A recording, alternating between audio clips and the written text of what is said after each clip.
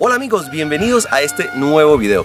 Hoy me encuentro no en la huerta, recuerden que estamos haciendo una gira por todo lo que es la parte andina y ya tengo muchísimos videos que ya ustedes han visto en cortos y diferentes videos. Pero hoy quiero hablar sobre esta planta que tenemos aquí atrás que se llama Sam. O sea, la planta en sí se llama Sam. Pero aquí en esta zona eh, preparan con ella, extrayendo el tubérculo de ella, preparan una especie de harina. Se llama sagú. Es una harina que eh, tiene muchísimas proteínas para, para, hacer atoles, para hacer chichas, para bueno, no sé.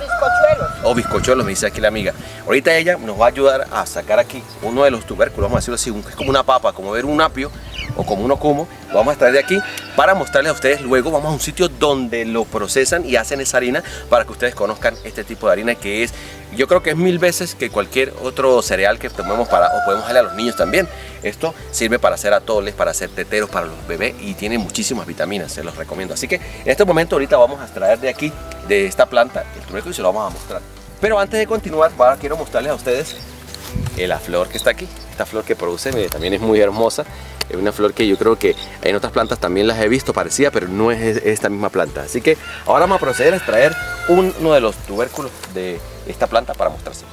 Bueno amigos, aquí les voy a mostrar el tubérculo, lo vamos a arrancar, mire, ahí se ve como una especie de, batata, de papa, eh, tiene semejanza, lo vamos a extraer, pero quería mostrárselo antes de sacarlo, ahorita lo vamos a sacar ahí. Amiga Beatriz, usted me comentó que esto le decían también en Colombia, ¿cómo es que lo llamaban?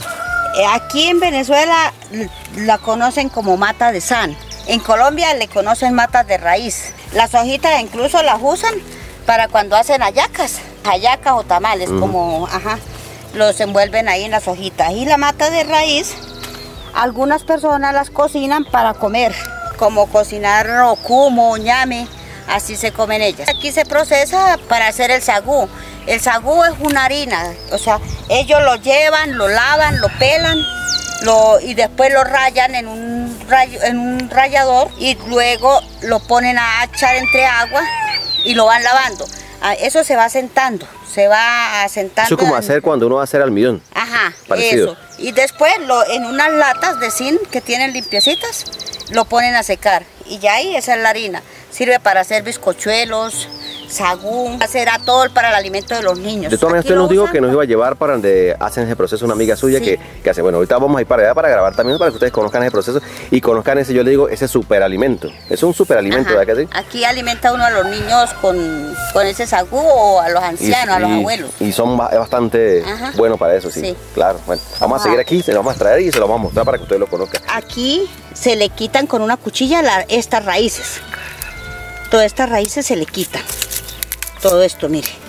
Se le quitan todas estas hojitas. Y de aquí lo llevan, lo arreglan así, le quitan todas las raíces, un poquito así con la cuchilla. Hoy no tengo cuchilla aquí a mano, pero sí. Pero sí lo que se es esta pieza, esta batatica. Sí, De, de, aquí para abajo. se le quita aquí de donde empieza el tallo. Para abajo, esta es la batatica, de esto es que se hace el alimento.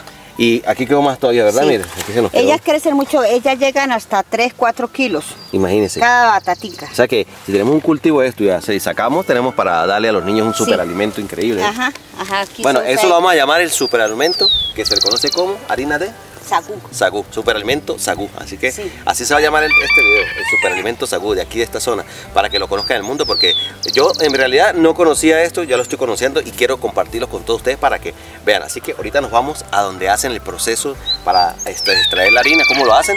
Si no hay en el momento, ellos nos explicarán más detalladamente cómo lo hacen y nos mostrarán las máquinas o lo que utilizan. Así que vámonos para allá gracias aquí a la amiga Marilena que nos va a permitir, o sea, que nos ha permitido entrar a su casa donde producen esta este, harina que se llama sagú. Sagú, que yo no le digo sagú, sino le digo superalimento porque eso es un superalimento. Bueno, mi gente linda, el primer paso es moler lo que es la raíz de la planta del san, la que mostramos al principio del video en esta máquina, una máquina de fabricación casera. Toda esa pulpa se va a filtrar luego para extraer el líquido. Se va a hacer un proceso como cuando hacemos el almidón de yuca, eso de colocar unos filtros y luego se deja ahí para que asiente donde se va a estar el producto que lo van a ver ustedes ahorita más adelante. Esta máquina es una máquina de fabricación casera mi gente y lo que sobra después que lo filtran todo ese residuo que sobra después que se muele y se filtra no se pierde. Ya van a dar ustedes cuenta para que vean que todo eso tiene utilidad en la naturaleza. Bueno, aquí nuestra amiga María Elena Contreras me está mostrando, mire, este es el residuo final ya, pero esto no se utiliza, mi gente. Esto ya el bagazo, mire, quiero mostrarles aquí cómo está, ella lo deposita aquí. Esto es un fertilizante, mi gente. Aquí no se pierde nada, esto va a la naturaleza nuevamente y eso va a abonar todo el suelo aquí, que de repente esto se puede recoger después y se puede usar como un compost, me imagino que sí. Así que ahora vamos al siguiente paso.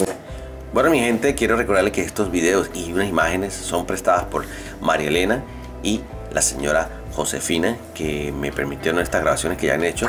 Este proceso aquí donde ustedes observan eh, ya se hizo el filtrado de todo aquello que se molió y se coloca y se deja eh, reposar para extraer la parte final. Esto es como hacer como hacemos almidón de yuca. Mira, aquí lo pueden ver ustedes que ya están limpiando y sale el residuo, sale ese recipiente que está cayendo ahí, se va colocándole agua y se va limpiando, mire, con una especie de aragán lo hacen hasta tener esa pasta blanca que es en el fondo de la cual se extrae el sagú que lo van a ir viendo poco a poco en el proceso. Recuerden que estas imágenes son de la gente de la localidad que me la facilitaron. Aquí están lavando la parte oscura esa que está sobrando para extraer eso que se ve blanco. Es una pasta que ustedes lo van a ver más adelante en unas imágenes que me prestó también la amiga Josefina de Se Ve Mejor y también ellos también ahí lo van a mostrar en un video. Tengo videos y fotos.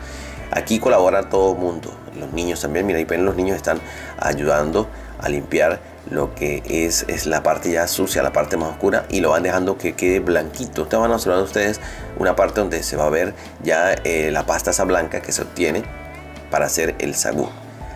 Aquí pueden observar, mire, se está haciendo más, más lavado para que vaya quedando más blanco, más limpio. La idea es que quede bastante limpio. Todo esto aquí es de una manera artesanal. Esto lo hace la gente del campo, mi gente. Esto no es industrializado. Esto es una manera artesanal. Es un producto que lo probé y es de calidad. De todas maneras, yo me traje un poco de allá que ahorita al final del video les voy a mostrar donde estamos, preparé un atol de esos y lo probé para que vean, los voy a mostrar, es muy bueno, es muy rico y aparte tiene mucho proteína. Bueno, aquellos le dicen que es de alimento, alimento porque es, es buenísimo, es bueno para, para alimentar a los ancianos y a los niños. Aquí tenemos unas imágenes que fueron eh, prestadas por la señora Josefina. Ahí se puede apreciar la pasta, mire cómo se ve en ese estanque, es una pasta blanca que luego la van a secar, que lo van a ver ahorita. Mira, aquí la exprimen con una especie de tela para extraer lo máximo que puedan de la humedad. Eh, quiero mostrar también aquí, mira, que están los bultos o sacos donde ellos han traído eh, el tubérculo para luego hacer el proceso. Aquí lo están secando, miren, lo secan al sol en diferentes lugares como una especie de sacos y en láminas de zinc, como dijo la señora este, Beatriz al principio del video, bien limpias, se almacena y ahorita aquí la amiga María nos va a mostrar ya el final, lo, como ellos lo tienen. El proceso ya del chagú listo para, para salir para el mercado, ¿ve? Ya aquí ya está seco, ya como pueden ver es la harina, ya la que queda. Después de hacer todo el procedimiento, que yo le voy a pasar los videos aquí al señor para que él Vea cómo es que es todo el procedimiento. Parece mucho a la maicena, a lo que dice la fécula de maíz. Es la fécula de maíz que es parecido, pero para mí esto es un súper alimento que posiblemente, no sé si después vamos a llevarnos un poco de esto, vamos a comparar, vamos a llevar para prepararlo y probarlo después y decirle a ustedes el sabor que tiene. Bueno amigos, aquí estoy con la amiga Josefina que también trabaja y produce el sagú, el que yo le digo super alimento. Vamos a hacer una pregunta porque ella me va a facilitar unas imágenes de todo el proceso ya que llegamos en tiempo, podemos decir así, malo porque no se está produciendo ahorita porque la máquina se les dañó a ellos y bueno, no hay ahorita producción para mostrarles. Pero ella me va a facilitar las imágenes que tiene también para poder publicar y mostrarles a ustedes. Yo quiero hacer una pregunta, amiga Josefina. ¿Hace cuántos años trabajan ustedes con este producto? Hace aproximadamente como unos 30 años. Esto quedó de mi papá se hace con eso, se hace la gelatina, gelatina se hace pancitos, el bizcochuelo, que es muy tradicional. O sea que es una harina, es prácticamente una harina eh, que puede, puede suplantar a la famosa harina de trigo. Sí. Y es más saludable y aparte es más, más nutritiva, ¿no? Y se hace también los son ricos bizcochuelos. Sí. Ya mire, esa planta que ve usted, esa hilera que se ve así, es el san, porque no se llama sagú, se llama sagú, es cuando ya está listo, cuando ya sale la harina, ¿verdad que sí, mi amiga? Bueno, mi gente linda, Eliseo se me adelantó con la preparación de el atol con sagú. Miren, mi gente, trajimos ahorita se los voy a mostrar, mire cómo queda espesito, esto es con leche y el sagú que trajimos de allá. Bueno mi gente, espero que les haya gustado este video, un video bastante interesante que fue grabado en los páramos andinos del Táchira, específicamente en la zona del Palmar, vía el páramo El Rosal, donde la gente produce esto, que es el sagú, este es el resultado final de todo lo que mostramos en el video, es una harina este, parecida a la fécula de maíz, muy buenísima porque tiene muchas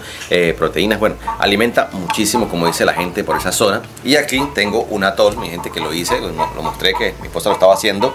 Eh, y mi vasito, mi gente, el vasito de la huerta familiar Guerrero Pérez con todos los integrantes de la huerta. Voy a probarlo. Mm. Buenísimo, mi gente.